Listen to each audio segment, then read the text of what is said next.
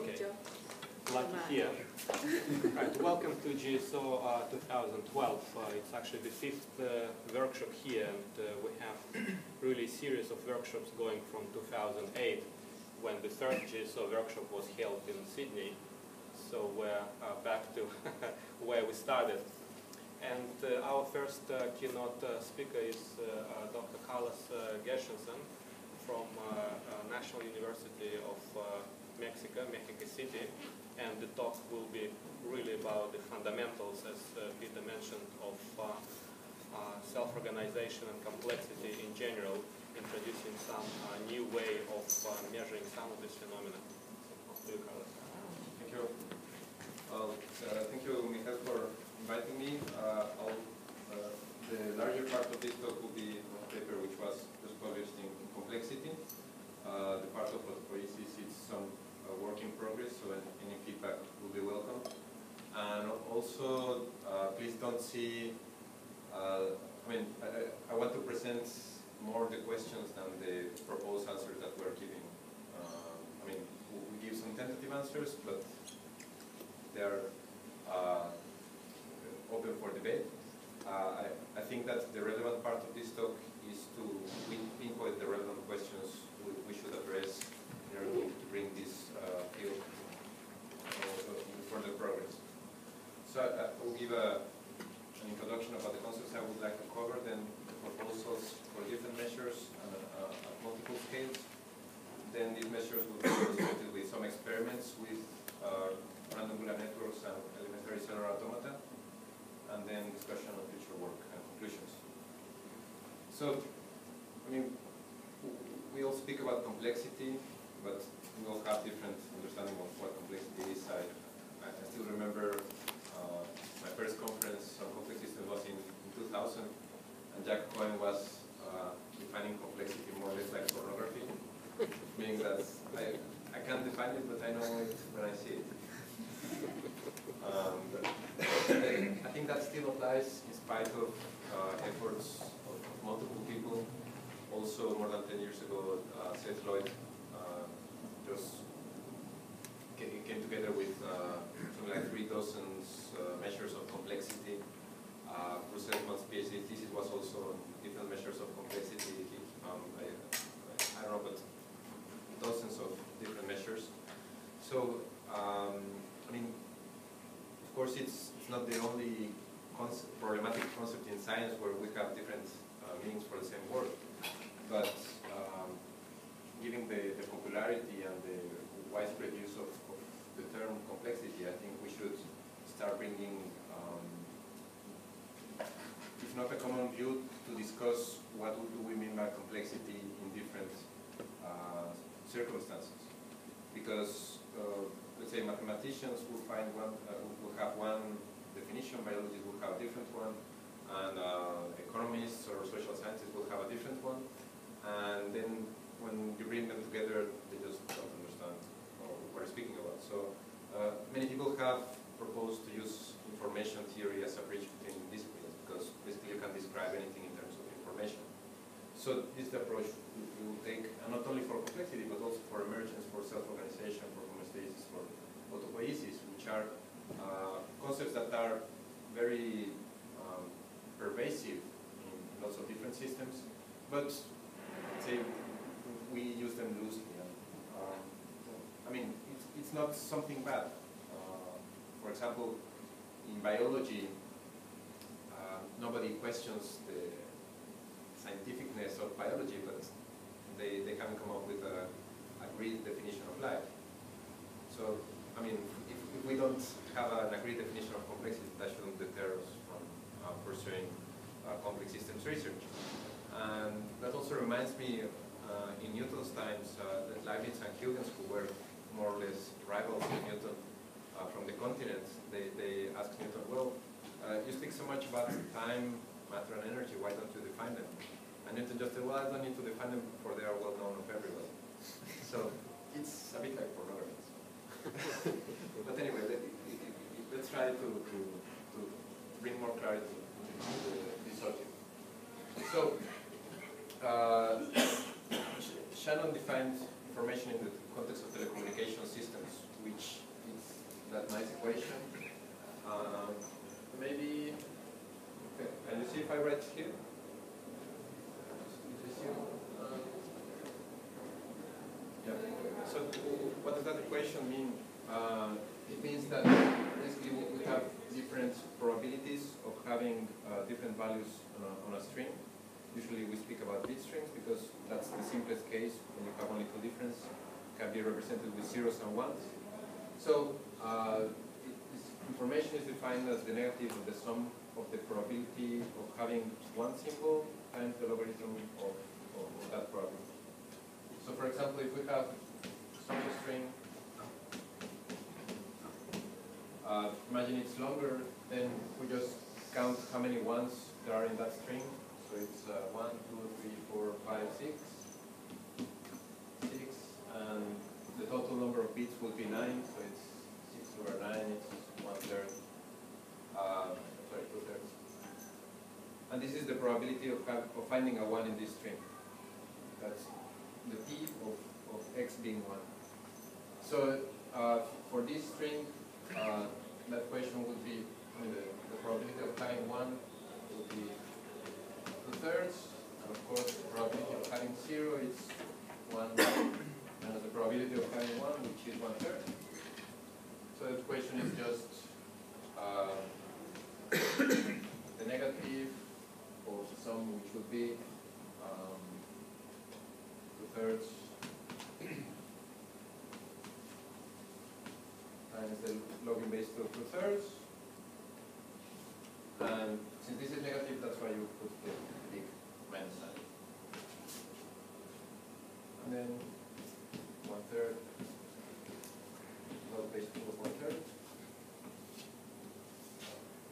And that will be the information of that string, which basically reflects how uh, how much new information a new bit gives you.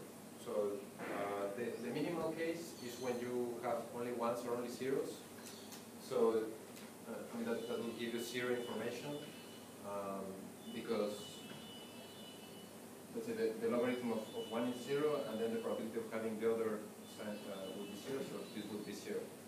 Uh, it means that if, if, you already know that you have only ones or zeros, uh, the new bit that you receive will not give you any, any new information because you knew already that the probability was one of either getting one or zero.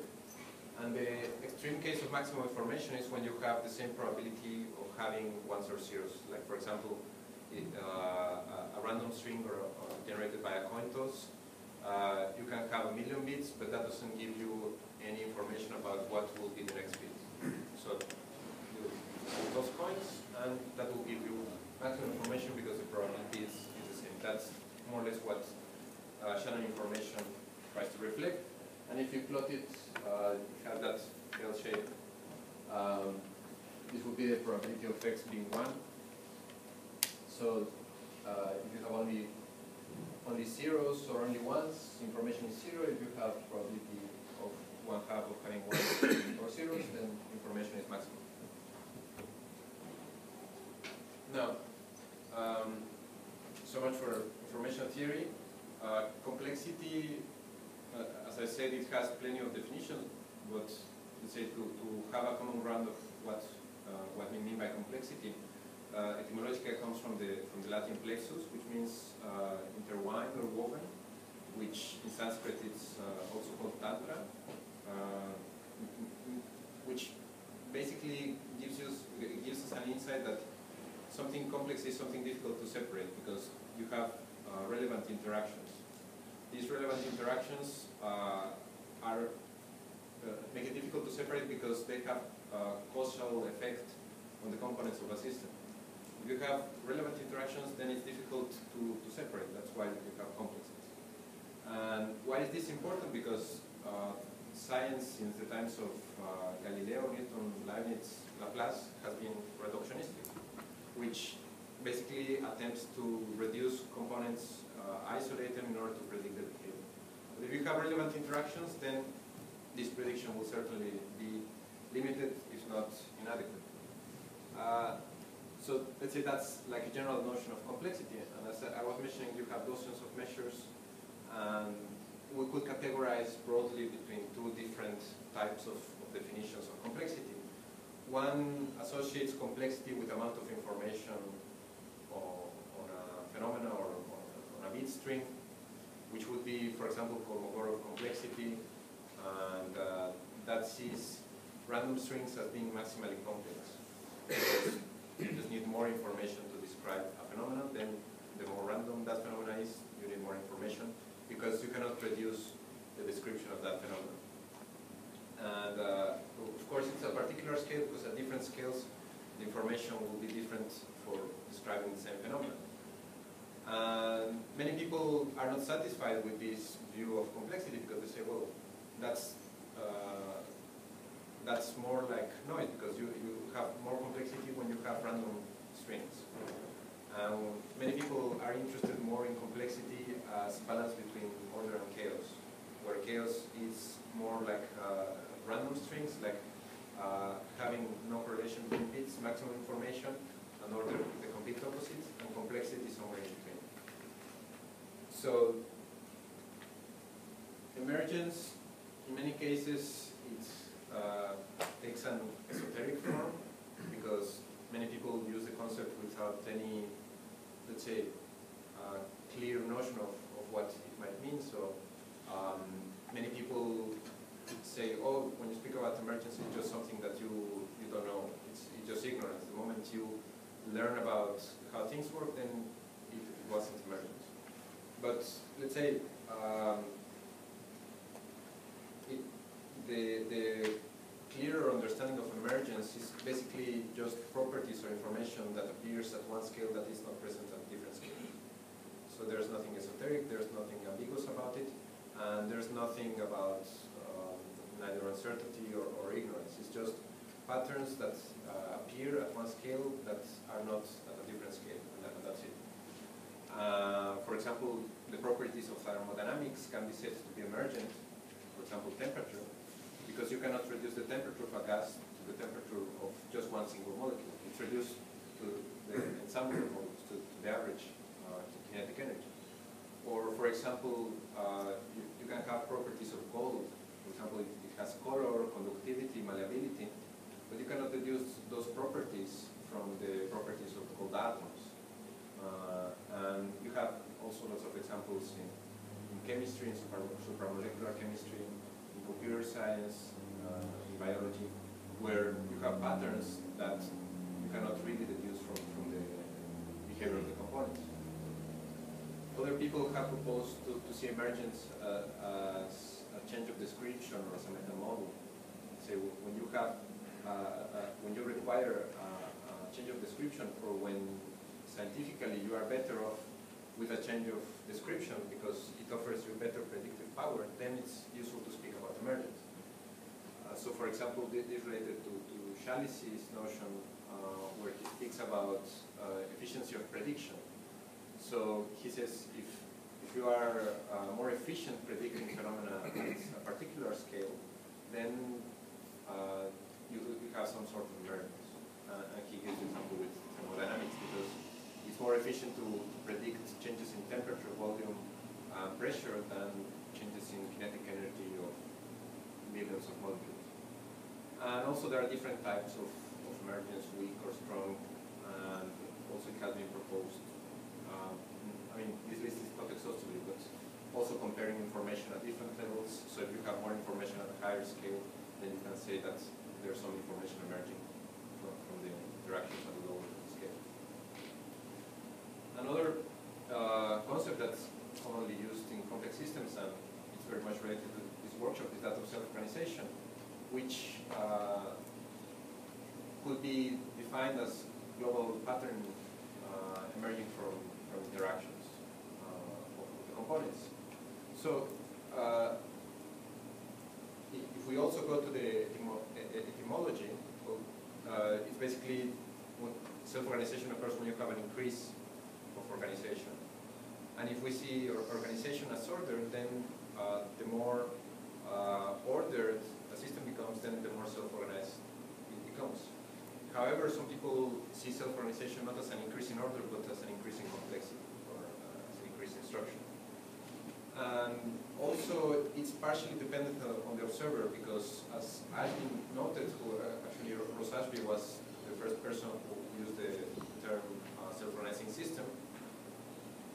He, he mentions, well, imagine if you have a dynamic system, then unless uh, you have a doubly stochastic matrix of, of, the state transitions, then you will have uh, attractors.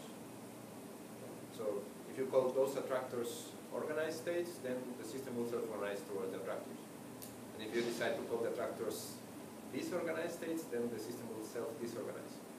Uh, so it's also a matter of when it's useful to speak about self-organization rather than uh, whether a system is or not self-organized.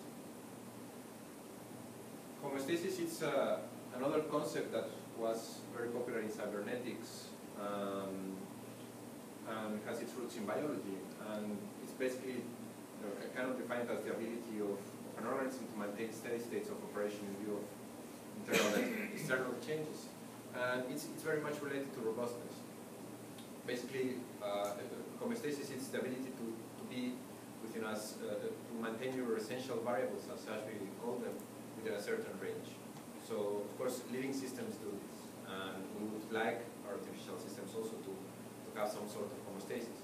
We shouldn't be confused with uh, steady state, because in many cases, homeostasis is quite dynamic. I mean, just, uh, I mean, living systems are not static. They're in constant change to adapt to, to their requirements, to their environment. For example, uh, heartbeats are uh, far from being stationary or, regular or, static, but they're part in the homeostatic process, which is basically uh, what enables systems to, to endure.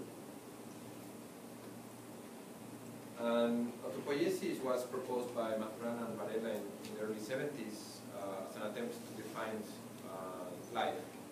So they say, well, a living system is one that basically produces itself.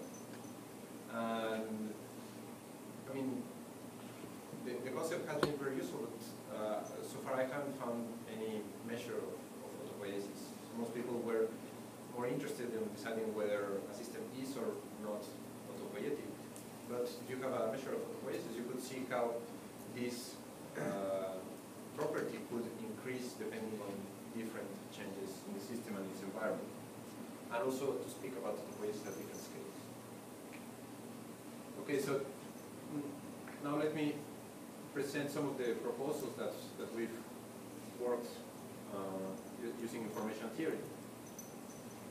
Uh, we can see emergence as information uh, at a higher scale that is not present at a lower scale. And if we see a system as uh, transforming information from its environment, let's say from a computational perspective, uh, then we can see just uh, the computational process as transformation of information from inputs to outputs. So uh, we could say and define emergence as that information that's produced by the computational process carried out by a phenomenon or, or a system. So basically, it's the, the ratio between the information that the system produces over the information that the system receives. So if the information, uh, if the system receives lots of information and doesn't come up with anything, then there's not much learning. Basically, if if the information coming out of the system is the same or less of the information coming into the system, then you, you say that there's not information emerging.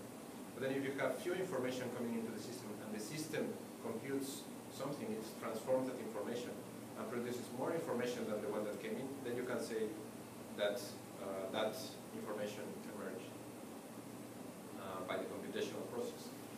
So the more uh, information comes out, uh, related to how much information came in, then the higher the emergence.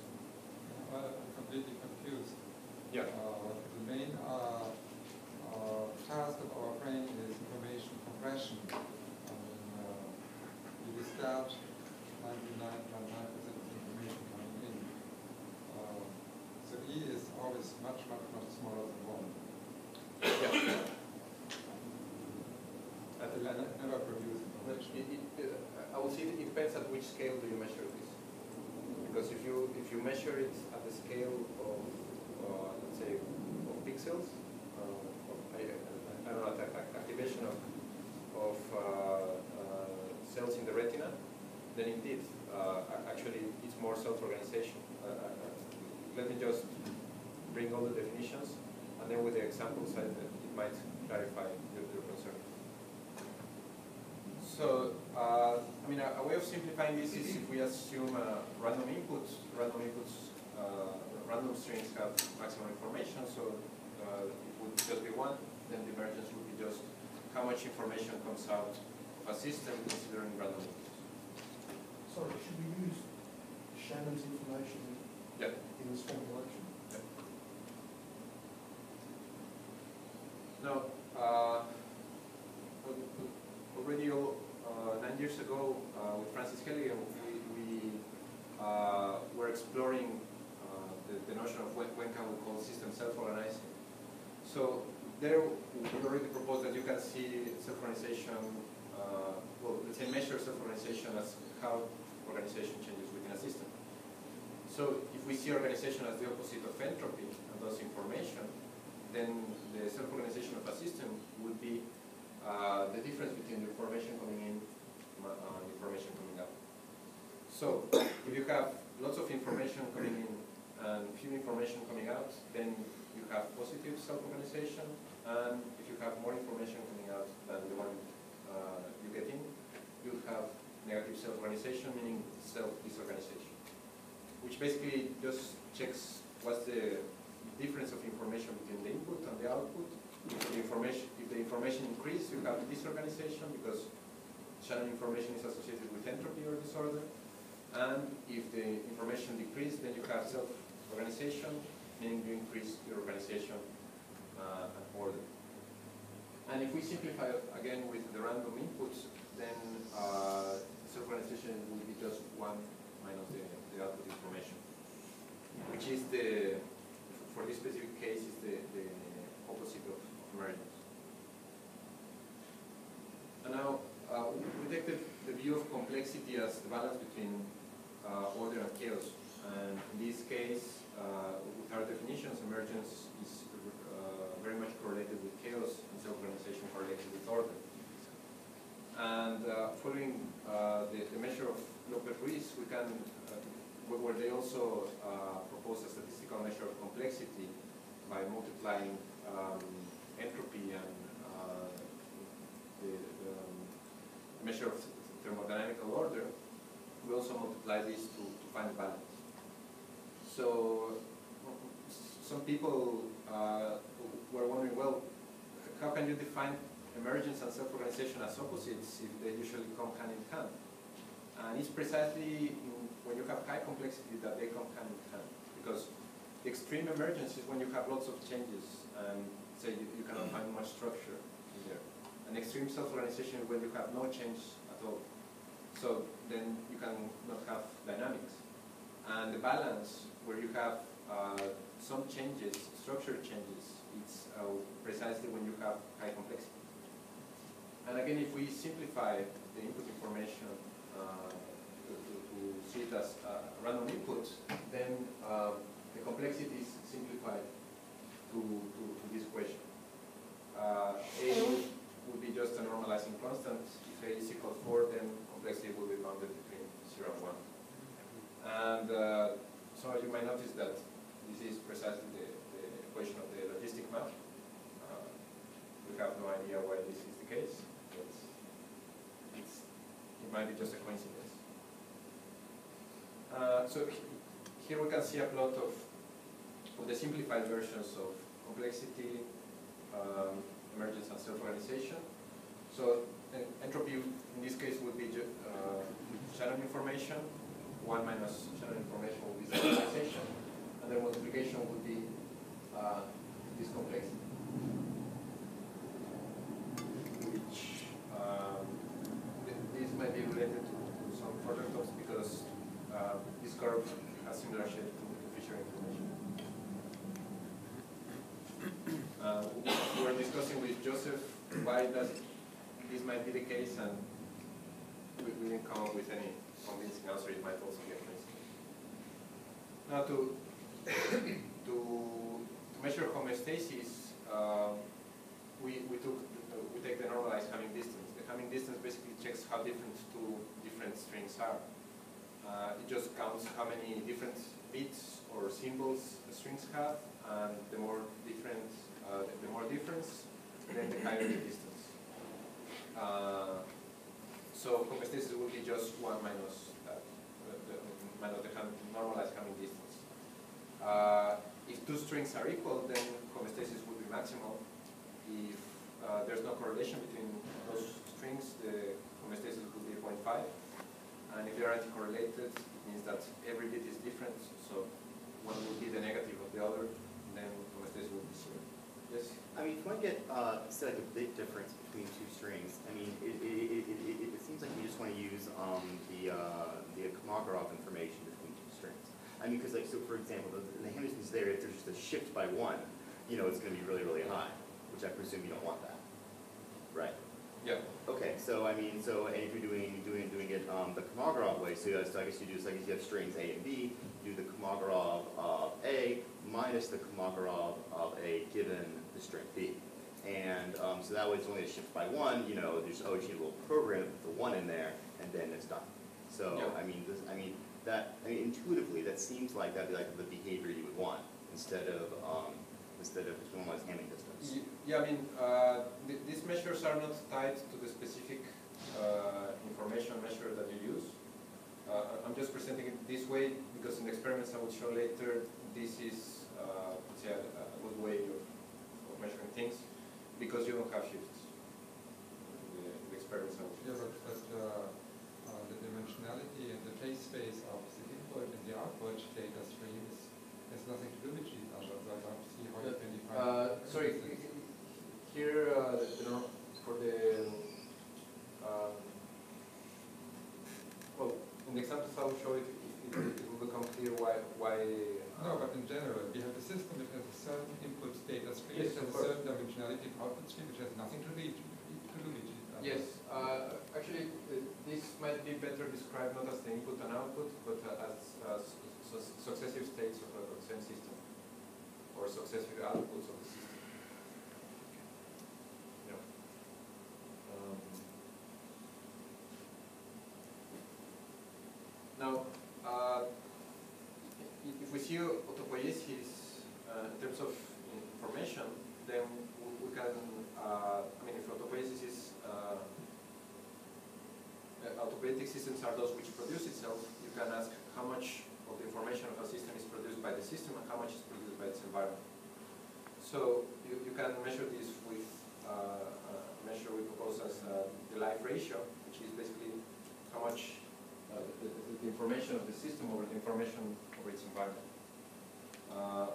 Of course, this is a very, we could call naive approach because uh, it doesn't uh, notice the causality between information of the system and information of the environment, but it's a, a first approximation. Um, so th- th- this is a bit different with the, the other measures because we're not looking at how the information is processed, but how, uh, uh, which information is within the system and its, in its environment. Now, to take these measures to, to multiple scales, we can uh, simply group bit strings. Um, so, for example, we have there a string base 2, uh, and then you can change it to base 4 by taking uh, bits 2 by 2. So, we take these two bits and change it to base 2, these two bits, and uh, sorry, to base 4, these two bits, these two bits, and then we can do the same for, for higher bases. So like that, we, we can have, uh, we can observe this, the same information at different scales, uh, let's say with uh, further granularity. And uh, to, to bound the, the information, to keep it bound between 0 and 1, we just divide it by, by b, which would be the, the number of bits we, we group, uh, and that bounds it between 0 1. Uh, there's a finite size effect for, for short strings. Uh, I mean, this information, you can see that it quickly uh, becomes uh, very short because here, for example, in base 256, you have 256 different symbols, but here you have only three symbols. So if you apply Shannon information, uh, the probability of having uh, 253 symbols is, um, is zero. And then this symbol has probability of one half, and this two has probability of one quarter. So that's why the information is very low, because the, the strings become very, very short. But if you have long strings, so for example, uh, it's just a random string, so uh, 2 to 20 bits, it has this information because it's random, so it's almost one, and then you just uh, increase the scale, and of course it reduces because it's finite, but it doesn't reduce as fast as, as very short strings. Now, um, I- let me quickly speak about random Boolean networks and elementary cellular automata, which will be systems that we will use to, to illustrate these measures. Random Boolean networks were uh, proposed by Stuart Kauffman in the late 60s as models of genetic regulatory networks. So they're very abstract models. Uh, for Kauffman, uh, each node represents a gene, and then these genes affect each other somehow. Uh, in those those days, they, they had no idea of how genes uh, were affecting each other, how many there were, uh, but still that didn't prevent people for, uh, from theorizing which kind of genetic networks living systems should, should possess. Um, so since there was no information about how genetic networks uh, were uh, constructed, he just generated random networks for, for different ensembles. Uh, and they're random because you generate the connectivity in a random way and you also generate the, the, the function in a random way. You have, um, yeah. So there are also generalizations of cellular automata, and you have uh, Boolean nodes uh, linked by k connection sich. And so, for example, this node O, its uh, state is determined by nodes n and p, and so on. These topologies generated randomly, and the state of each node depends on the state of previous time step of other nodes. And once you generate the topology and the functionality, this remains fixed. So for example, this would be the lookup table which defines the functionality of each node. Uh, you just put all the possible cases of the inputs and randomly generate the outputs with some bias. Um, here there is no bias, so you, you have the same probability of having ones and zeros, so this would be one functionality. And this is a typical dynamics that you get uh, from an initial state, then you fall into an attractor. Uh, say the black represents one or zero and, and white represents the, the other one. Uh, elementary cellular automata can be seen as particular cases of random Boolean networks where you have each node has exactly three neighbors and uh, these neighbors are uh, sorry three inputs and these inputs are its neighbors. So there's a symmetric connectivity. All nodes have three inputs and also are inputs to three other nodes because random Boolean networks even when you fix, uh, for example, three uh, inputs for each node, it might be the case uh, that some nodes are inputs of any node or of 10 nodes because precisely you generate this randomly. And also you have homogeneous functionality, meaning that you have the same lookup table for all uh, for all nodes. So if you have uh, three inputs, you have 256 possible rules, which can be reduced to 88 equivalence classes, and uh, Wolfram categorized it into four different classes. Um, let's say class, one, you have only uh, st static uh, patterns or very simple patterns. Class two, you have uh, nested structures. Class three, you have uh, pseudo-random behavior. And class four, you have um, complex structure, complex structures. So uh, let me show you the, the results for, for random Boolean networks. Uh, this would be uh, for varying the connectivity. It is well known that for higher connectivity you have more chaotic dynamics. So if we look at the emergence, which would be the black circles, uh, for low connectivity it's very low because you, you don't have much information change in, in the nodes. And then as you increase k, uh, it, it uh, grows considerably in the chaotic phase. And self-organization is, is the opposite. Uh, it reduces with k, and the balance complexity uh, is maximal uh, near the phase transition. It's a bit shifted to the right because they're finite systems, but um, I mean, it, is well known that the most complex behavior of, of, random neural networks is near, the phase transition. Uh, homeostasis is also uh, reduced towards the non-correlation um, uh, as the dynamic becomes more chaotic. Uh, we performed similar ex experiments for, for different scales, but they didn't have more, much difference because since they're random networks, you don't have uh, visible structure. But with cell, elementary cellular automata, you, you will see uh, how these measures change uh, when you change the scale.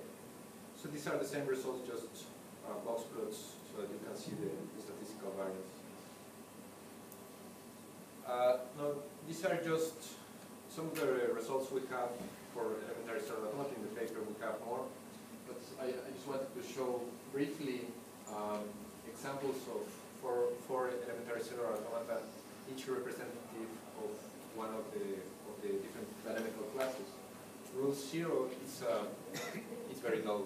It's, uh, for any uh, initial state, it turns everything zero.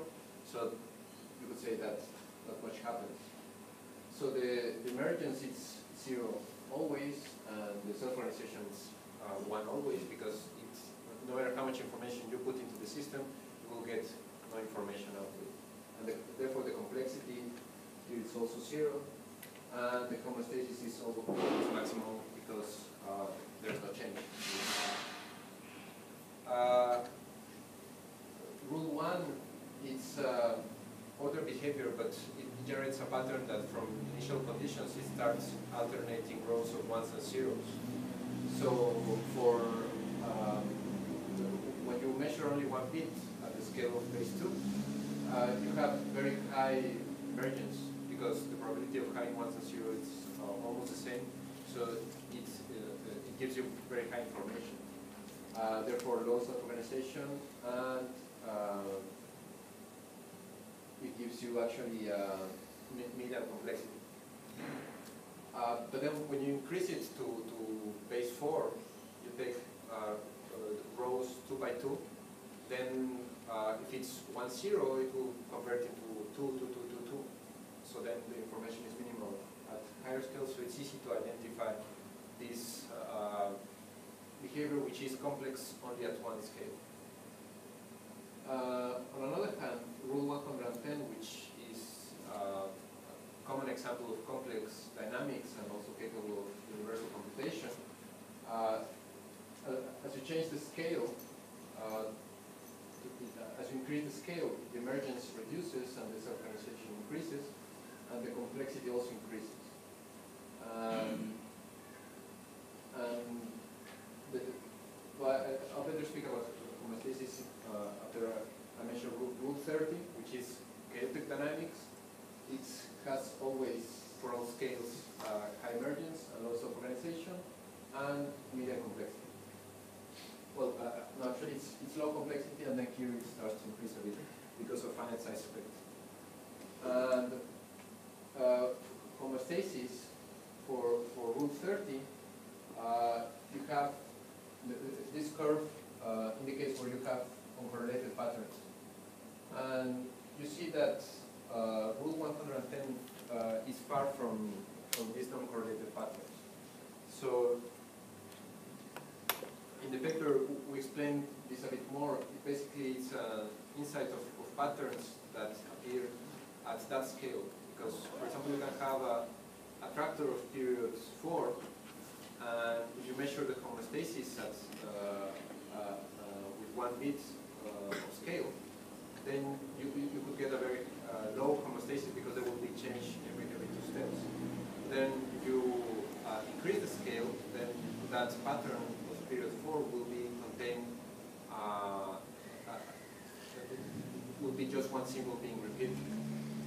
Uh, however, if you have, let's say, period 7, then it wouldn't show as uh, an and it's not a multiple of uh, power of 2. Uh, however, it shows in the homeostasis as being uh, anticorrelated patterns. Uh, and this is a property of rule 110 that you have gliders which are structures which are used to perform universal computation, but they interact over an ether, which is a regular pattern of period 7. Uh, precisely when you take 4 bits at uh, base 16, uh, it's, there's a jump in the uh, in the homeostasis far from the from the amount you would expect from, from having non-correlation patterns. So you can also use this to, to detect non-trivial dynamics systems. Now, um, to, to measure autopoiesis of random Boolean networks, this is something we're, we're just uh, starting to work with. We, we take um, two random Boolean networks to, to simulate a system and its environment. So that you have a certain number of nodes for, for, for, the, for the system and certain number of nodes for the dynamics of its environment. And basically, we link them in such a way that the dynamics of the environment are independent of the dynamics of the system, but the dynamics of the system are linked to the dynamics of the environment. So we have a random Boolean network uh, which uh, is composed by n nodes representing the environment, and it has a connectivity specific for that Boolean network. And then we have a larger uh, network which would be uh, representing this, the, this system and how it's affected by its environment, uh, which is, has a number of nodes representing the environment affecting the system and the nodes of the system itself. And then a connectivity characteristic of the system. So we basically, every time step, we compute the dynamics of the environment, and then we copy the state of that network over the nodes of the, of the um, let's say, system network. So these nodes that we copy into the, the, the other network will, uh, which will be these ones, will be interacting with these nodes, depending on this connectivity. Uh, however, these nodes, even when they might affect these nodes, uh, uh, on the next time step, these, these nodes will, have their own dynamic determined by, by, by this network. So it's like an environment just throwing information into this larger network, and we're interested in seeing how this information injected here determines the information uh, of the system itself. So these, these are some results for, for this measure of autopoiesis for having 64 nodes as, the system and 64 as the environment, uh, varying the, the connectivity of the environment and the connectivity of the system. So uh, let me explain the notation. Um, if it's red, uh, it's lesser than 1, and if it's blue, it's greater than 1. And uh, let's say if it's 0, then the, the size of the, of the circles uh, are, are reduced. Because we're interested in a autopoiesis of 1 because that would be the transition between the environment producing more information than the system and the, the system producing more information than the environment. So you have autopoiesis greater than 1, the system is producing more information than its environment and vice versa. So the greater the red circle, it means it's closer to zero. It means that the environment produces more information of the system than the, the, than the other way around. And well, here you see that it's very symmetric uh, because here, uh, let's say if you have the environment would have chaotic dynamics, let's say high information, and the, the system would have low information, meaning that uh, high information of the environment and low information of the system gives you a low autopoiesis. And on the other extreme, if you have complex dynamics, well, uh, better say chaotic dynamics of, of the system and uh, very ordered dynamics of the environment, then you have a high autopoiesis because the information produced by the system is more um, is more than the information produced by, by its environment. And for, for these networks, we can see uh, the emergence that increases more for the, for the environment, uh, I mean, it depends more on the environment. Uh, you can see here because, I mean, there's more similarity by columns than by rows. So it means that the uh, environment determines more the complexity and self-organization and emergence and the homeostasis more than, than the system. Which is just because of this asymmetry that the environment injects information into the system and in this model the, the system does not inject information back into the environment even when, let's say, in ecological networks, the systems, the organisms do inject information back into the environment. And here we just change the size of the nodes. Now we have a larger environment and a smaller uh, system or organism. And uh, it's, it's very similar results uh, qualitatively. Um, and the same for wh- when we have, let's say, a smaller environment and a, and a larger system. Uh, only that here, um, with a larger system, then the, uh, these measures start to become more dependent on the information of the system than on the environment, but still the environment uh, plays an, a relevant role. Now, uh, uh, as I was mentioning, uh, in many cases complexity um, is, is seen as the amount of information. We believe that this is not properly char- characterized. That, uh, why? Because uh, information can be seen as a balance between ones and zeros. The more balanced uh, these are in a string, the more information you have. If you have only ones or only zeros, then you don't have balance, you don't have information. And I mean, to have complexity as balance between ones and zeros mm, might be not so useful as seeing complexity as a balance between emergence and self-organization, which would be like a second level, uh, because emergence represents a balance between ones and zeros, and self-organization represents that you have uh, static dynamics with, uh, let's say, not one, only ones or only zeros, or in, in, in better terms, that you don't have much change. Um, and, and this is very uh, direct uh, mapping of the balance between um, chaos and order, which is considered by many other measures of, of complexity, which are uh, much more com complex.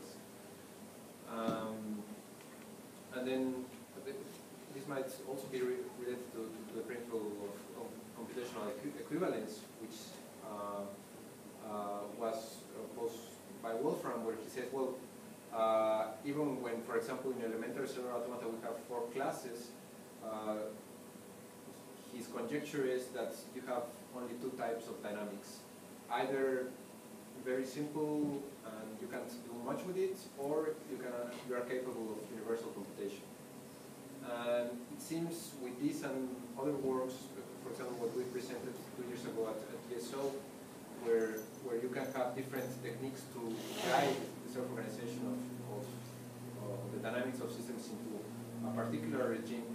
Um, there are techniques where you can take chaotic dynamics into the, um, to, to have a high complexity, or, uh, well, you can use these or other measures of complexity as a guideline uh, to, to, to design systems and to modify systems to have these desired properties that seem to be uh, not necessarily uh, determine universal computation, but seems to be a, a necessity to, to have these properties for universal computation and, and for living systems. Basically, if you have very high emergence, say lots of noise, then you cannot you have any memory. I mean, you, you can have computation, but then uh, anything you compute will be destroyed. And on the other extreme, if you have very high self-organization, uh, you have a structure, but then you cannot modify it. And complexity is precisely the balance between these two extremes, where you can have certain memory, you can keep the solution, but you can still keep on exploring. And finally, that's what life is all about, and also computation. Um, and also, an interesting thing that we notice is that the high complexity is correlated with a high variance of homeostasis. Uh, now, the, there are several lines we, we, would like to pursue as, as future work to explore the relationship between complexity and Fisher information and logical depth and other measures of complexity. Uh, we're starting to, to apply these measures to, to yield data. Um, and, uh, with a student, he, he's also starting to, to, to implement this with epsilon machines. Uh, with some colleagues, we might do this with Turing machines. Uh, would be interesting to have analytical solutions for, for uh, the results we have. Uh, we are also working on a, on a new complexity profile that uh, proposed a, a complexity profile, but where he sees complexity as the amount of information. If we see, uh, well, like the profile as I showed you for, for elementary cellular automata, they, they can give you uh, a nice feeling of how uh, different measures change across scale, and that's uh, very relevant because usually we just focus on one scale, and uh, we see that it's not the whole story. Uh, we can also uh, study this more generally in computing networks. So just to conclude, uh, I, I, I mean, apart from the proposed measures of emergence of organization, homeostasis, complexity, and, and, and uh, I mean, I, I, I don't intend to claim that these are like the, the real ones and all the dozens of previous measures of complexity um, are, are not useful. Actually, many of those are uh, very much related or specific cases of this. Uh, I think that the relevant thing is that we should start discussing uh, these questions um, in order to clarify uh, what we mean, not only to ourselves, but to other disciplines. Because people start speaking about emergence and they have no idea what emergence is, then we don't really want to become associated with that people or with that concept. And that's what happened with cybernetics. People in social sciences started using concepts from cybernetics, uh, let's say without a clear understanding or let's say without a proper definition. And then people who proposed those measures didn't want to become associated with that uh, loose use of their concepts, so they basically changed names and, and now we do complexity instead of cybernetics. Uh, so in order that that doesn't happen again, we need to have precise definitions and they should be simple enough so that people in the social sciences will be able to apply them to their systems. Uh, and it's also relevant because uh, I remember just uh, one or two decades ago in biology, um, let's say people were kind of neglecting many biological theories because they had no experimental data. For example, uh, I mean, still when I was in university, it was almost ridiculous to think about making experiments of, of of evolution. But in the la- last decades, uh, many people uh, have done uh, experiments of evolution in vitro, uh, checking how uh, the, the genomes of different generations of bacteria change in, in time. Uh, so this data has uh, allowed them to contrast different theories that a couple of decades ago was not possible. And this is right now happening in social sciences. We're getting data to contrast social theories. So uh, I think these type of measures will be useful for that type of data in order to, to contrast the theories that have already been proposed. But this will bring a um, solid scientific uh, grounding to, to social theories. And also, uh, it's very attractive to, to use information theory for this because everything can be described in terms of information. Therefore, we can measure uh, the complexity, the emergence, self-organization, the basis of everything. So, I mean, it, it would be interesting uh, to, to measure what would be the basis of a country or an economy or uh, some molecules, uh, not necessarily in the context of biology. So, um, if you have any, any questions, uh, I'll be happy to answer. Thank you, Carlos. We have about 10 minutes for questions, please. Joe?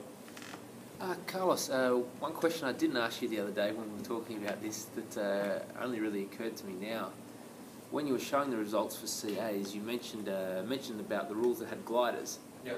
Now, gliders are, are a feature of CAs that have attracted a lot of attention when people are using the terms emergence and self-organisation.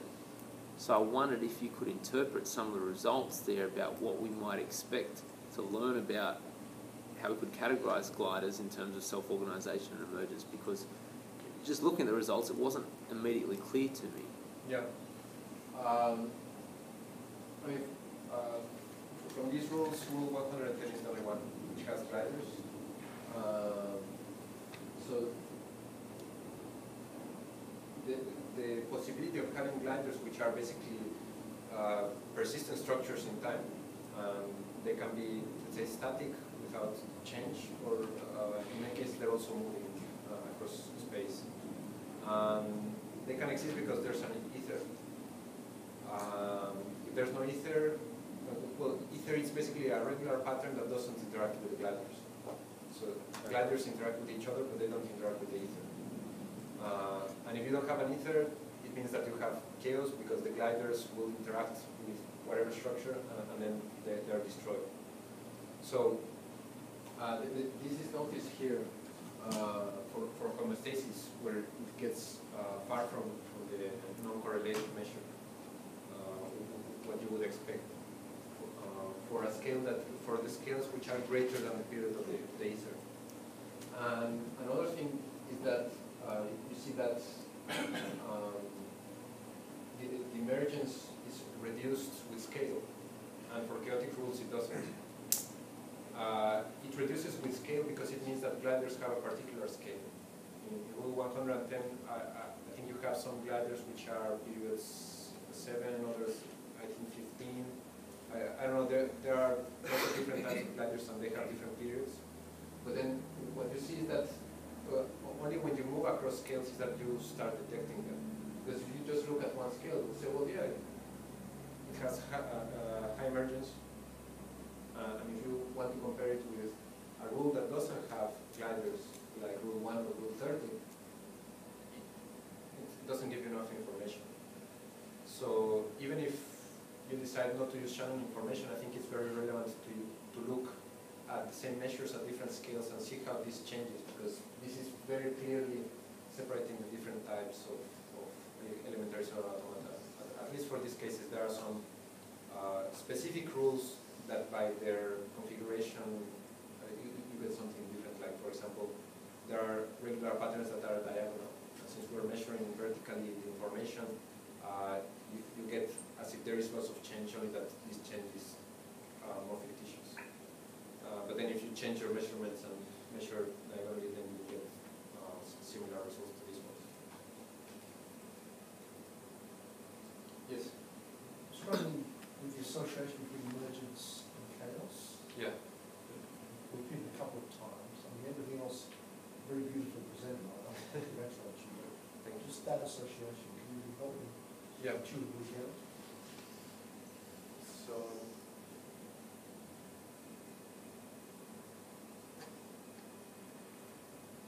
So the, the, the, the definition of emergence is how much information comes out of the system uh, compared to how much information comes into a system. So in, in a, the maximally emergent uh, system uh, will be one in which no matter whe- whether you put few or lots of information, you get lots of information coming out. And the maximum information in terms of Shannon is presented when you have random strings, or pseudo- pseudo-random strings, uh, more, more specifically. And precisely chaotic dynamics uh, are uh, similar to, to, to random strings. When- you look at uh, the states of nodes in time, uh, you don't see patterns because there are so many interactions going on and they're affecting each other, so, so you lose track of, of patterns. Um, So you're saying it's more characteristic of the input than Uh, the output? No, it, it's more of the output. Associated chaos? It- it- It's more of the output because it doesn't matter whether you put few or lots of information, you get lots of information out of it. I mean, the, the, the maximum value is when you put very, very little information and you get a lot of information. But also if you put a lot of information and that information is not reduced, then that's also a characteristic of chaos. Because uh, if you put noise into a system and you get out of that system uh, structure, then you're re reducing the information. Uh, and that wouldn't be, uh, that would be, let's say, reducing the chaos that you put into the system. Uh, and that would be more self-organization. Yep, I mean, following up on this uh, question, um, there is a definition of uh, emergence by Shalizi in computational mechanics where they define essentially this as a ratio between uh, what can be predicted uh, over, I mean, uh, or what, what is predicted over what would in principle be predicted, right? It's- Yeah, yeah, efficiency of prediction. I think this uh, definition actually would uh, clash with your definition. You, you cannot reconcile it, I think. It would point into opposite extremes. That's why I think this is related to previous question. I mean, uh, in, in chaotic or random systems, it's very difficult to argue that emergence goes very high. I mean, what you explained obviously concurs with your measure, Yeah. but whether this is uh, really emergence as is understood in this tradition Yeah. is a big question. So I'm just wondering why did you go this way? You could have probably used either Kolmogorov complexity as a multiplier or maybe Yeah. simply entropy rate. It Yeah. would give you same uh, quadratic thinking. Is, is that, well, uh, uh, because it also clashes with Shalizi's definition of self-organization. Hmm. So, let's say, for, for Shalizi, you have increasing emergence, let's say here you will have maximum complexity, and here you will have increasing self-organization. That's And they're right. They're ma- maximal Yeah, uh, at the same point. yes, at the at the complexity point. yeah. And, and for us, it's more like, Yes, I understand. like that. This would be emergence.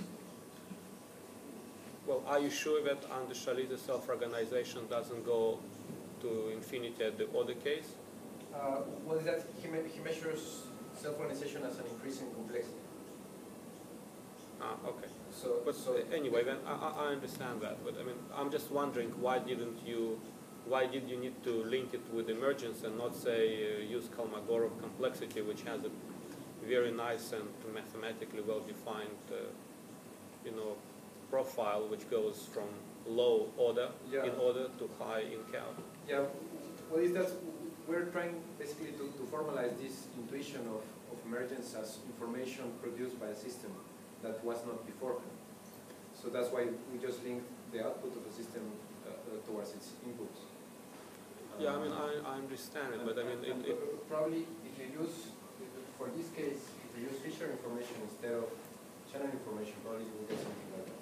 That, that- that I don't know. Uh, I mean, so you're making a principled uh, choice here, right? So you, you Yeah. really want to say that emergence is the highest in the chaotic regime because information produced by the system relative to the input information is the highest. And, and we call that emergent information.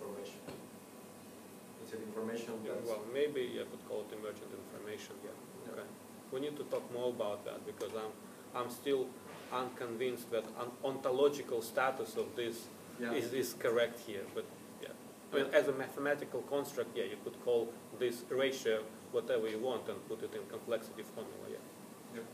I have uh, also a follow-up question for the term of self-organization. So it seems that your measures are are very much for like uh, this type of, of experiments you described. So I would like to get a little bit more intuitive grasp. For example, take uh, we take a stone and we take a flock of birds. Okay. Yeah. So the stone has it doesn't matter what you throw in, information output zero. So maximum self-organization in your in your way. Uh, This I don't really see. And then I have a flock of birds. Uh, First of all, I need to a little bit think what, what would be the input and the output. Say the input is some kind of uh, uh, some kind of uh, deviation of the positions or something of the birds, and then the output is the position of the birds. I don't know. Or maybe the input is a position and the output. I don't know what, what you would define, and then um, it wouldn't be maximally self-organized. Uh, so I, I really don't. Maybe you can comment on this on Yeah. this example something a little bit because I really struggle to understand. Yeah, for- for the flock of birds, uh, I, I would assume that, let's say it's better a simulation of a flock of birds because that's Yeah, it's fine.